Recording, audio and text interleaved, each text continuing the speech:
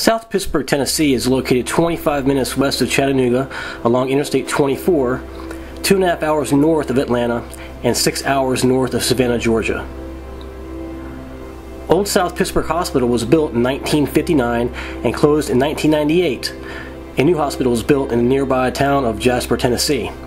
Interestingly, the Cherokee Indians settled on the property. Also, it's said that the Native American Trail of Tears went through where the hospital now sits. Another interesting fact is a natural spring flows under the hospital.